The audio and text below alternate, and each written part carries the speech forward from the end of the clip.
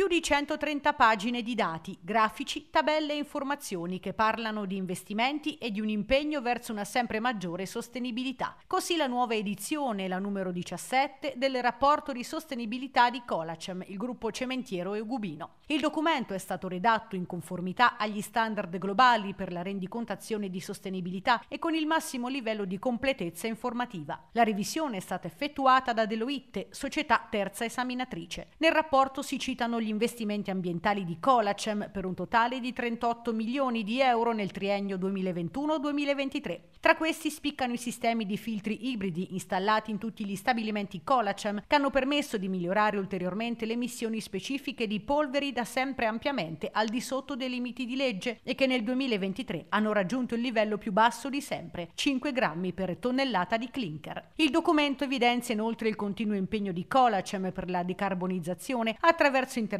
sul processo e sul prodotto. L'azienda adotta sistematicamente le BAT, ovvero le migliori tecniche disponibili nei propri stabilimenti, e produce cementi con un fattore di emissione ridotto, cercando di garantire al contempo le migliori prestazioni fisico-meccaniche. In un'ottica di economia circolare, il 6% delle materie prime utilizzate proviene da materiali riciclati, mentre oltre il 22% dei combustibili fossili è stato sostituito con combustibili alternativi più sostenibili. Dal punto di vista sociale, Colacem impiega quasi 900 persone in Italia, di cui oltre il 99,5% con contratti a tempo indeterminato. Dal report emerge inoltre l'attenzione dell'azienda sul tema della sicurezza nei luoghi di lavoro, con investimenti e una formazione continua. Il dialogo trasparente è la base delle relazioni aperte e collaborative con tutti gli stakeholder, spiegano dal gruppo cementiero. Gli stabilimenti Colacem, moderni e sicuri, sono sempre aperti a coloro che intendano visitarli per comprendere come viene prodotto il cemento, un materiale fondamentale per lo sviluppo economico e sociale del paese e per la qualità della vita di tutti noi.